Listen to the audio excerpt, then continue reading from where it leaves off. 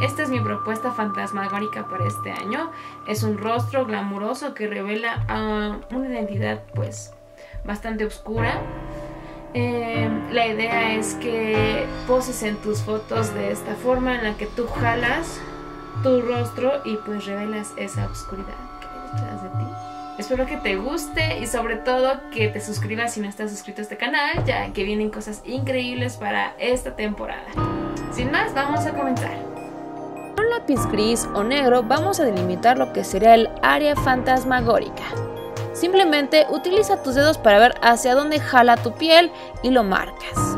Con una acuarela blanca vamos a comenzar haciendo lo que serían nuestros dientes. La aplicación de este maquillaje vamos a hacerlo en negativo. Esto nos va a dar un resultado más limpio y vamos a poder hacer eh, un trabajo todavía un poco más detallado. Es decir, vamos a comenzar aplicando todo lo que sería lo blanco de este como fantasma. Yo comencé por los dientes ya que es lo más em, detallado de todo el diseño.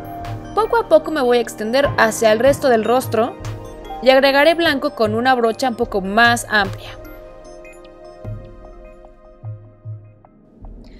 Voy a poner todo el blanco sobre toda mi área, cubriendo súper bien lo que es mi ceja, con cuidado de no poner justo en las hendiduras y al bajo de mi cuello voy a arrastrarlo de manera que se esté como, como derritiendo. Lo ideal es que no pongas blanco en las áreas en donde vamos a poner el negro. Para el negro voy a utilizar igualmente una acuarela. Esta se activa con agua. Voy a comenzar por mi ojo y lo voy a alargar un poco haciendo una mirada un poco más penetrante. Y posteriormente voy a ir rellenando los huequitos que dejamos en los dientes con trazos muy muy delgaditos para hacer un efecto como de ramas o venas. Con esta técnica vas a texturizar alrededor de la boca, la nariz y el ojo. Ahora para darle como una apariencia como de cráneo vas a colocar una especie como de um, hueco. No sé si hueco precisamente. Bueno, pon atención. El tema es que tienes que estar haciendo unos como cruces de arriba abajo, justo por debajo de tus pómulos, como lo puedes ver, para después rellenarlos poco a poco para darle esa apariencia como de Mm, como de piel desgarrada. Mi recomendación es que utilices pinceles extra finos para este maquillaje. Estos no tienen que ser precisamente de una línea de maquillaje hiper mega cara. Los míos los conseguí en Lumen y vienen en paquetitos de 4. Regalados.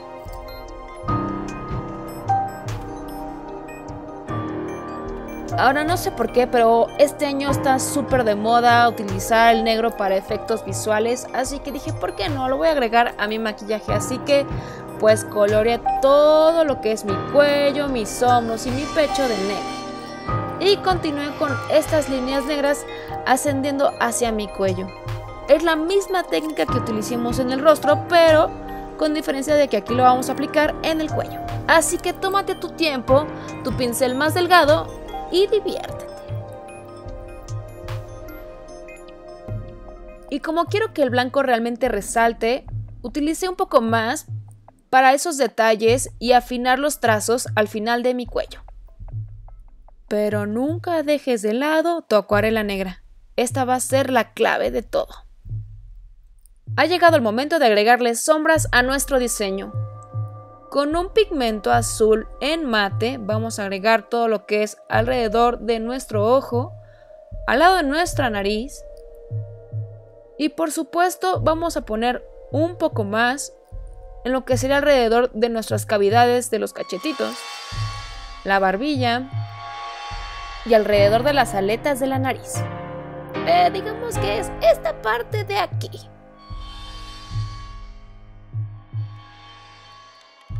Para darle más profundidad al sombreado voy a agregar una sombra negra. Esta es de la paleta Naked 2 de Urban Decay. Y la voy a colocar justo en donde puse ese azulito. Con esa misma sombra vamos a agregar un efecto de profundidad en esta parte del diseño. La idea es que conforme se va alejando de la boca, se va oscureciendo. También pon un poco en esta parte de tu boca. Y para acentuarlo aún más, utiliza un lápiz negro. Este es de Maybelline y es excelente porque difumina súper bien. Con este mismo lápiz voy a delinear dentro de mi ojo.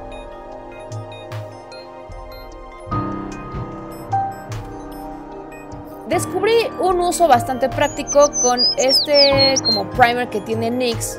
Lo voy a utilizar como si fuera un pigmento negro para darle más profundidad a mis cavidades y voy a oscurecer un poco más como que embarrarlo alrededor de mi ojo y una vez que ya lo tengo agrego últimos toques con mi pincel más delgado y mi acuarela negra. Regreso a mi lápiz gris para delimitar de nuevo mi área blanca. Para después difuminarlo.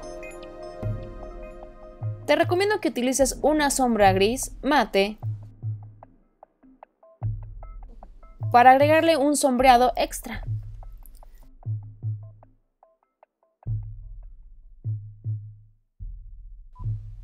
Y finaliza con negro. Hasta aquí podrías terminar, pero como se trata de una Bonnie bastante glamurosa, vamos a agregar base y después pasa a tu primer favorito. Este es el Jumbo Pencil de NYX en el color Milk. Es excelente para resaltar sombras de alto impacto, como esta de Inglot, que es como una verde azulada. Este paso puede ser opcional y puedes escoger el color que más te guste. Para que no se vea tan plano mi diseño, apliqué un tono más llamativo, es este verde limón de la paleta de BH Cosmetics y lo apliqué desde el centro hacia afuera y de igual forma tomé un como verde azulado de la misma paleta y la coloqué en la esquina exterior, difuminándolo de esta forma. Con este mismo lo jalé hacia abajo y para darle luz voy a tomar esta sombra de aquí de la paleta Naked 2 de Urban Decay para aplicarla en el hueso de la ceja y en el lagrimal. Toma tu lápiz negro y delinea la parte de abajo. Aquí podrías terminar con pestañas, cejas y bueno ya sabes, pero yo quiero agregar glitter para dar un efecto más glam.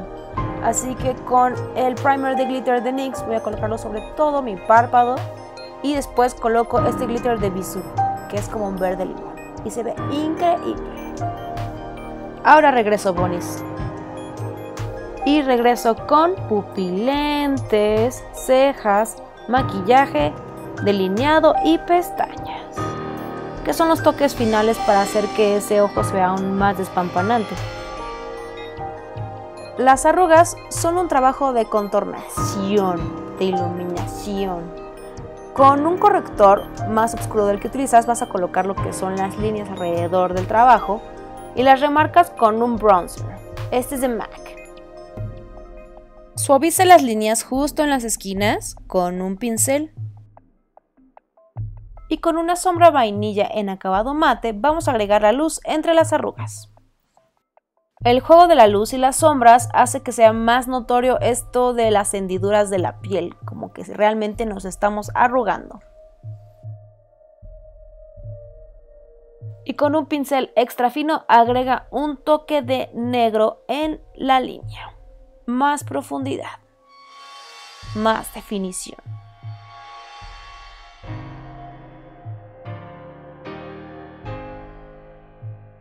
Con el delineador Razor Sharp en un tono azul eléctrico voy a agregar unos toques de luz y de color a estas partes de mi diseño.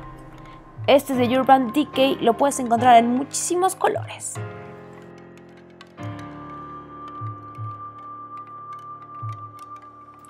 Y ya estarías lista. No se te olvide jalar, bueno, entre comillas, jalar tu rostro para esas fotografías.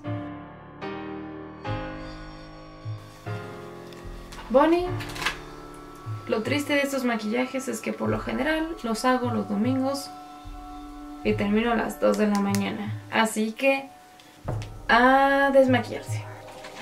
Se preguntarán si es difícil remover un maquillaje como este, y la respuesta es no. Para remover a profundidad el maquillaje, lo más recomendable es utilizar un desmaquillante que no solamente retire el producto, sino que aporte algo extra a la piel. Este es de Garnier y es el agua micelar óleo. ya que recordemos que un maquillaje tan pesado durante tanto tiempo puede resecar la piel, incluso sacar uno que otro granito. Así que hay que quitarlo todo súper bien, Bonnie. Y después te recomiendo darte un buen baño caliente. Listo, Bonnie. A descansar.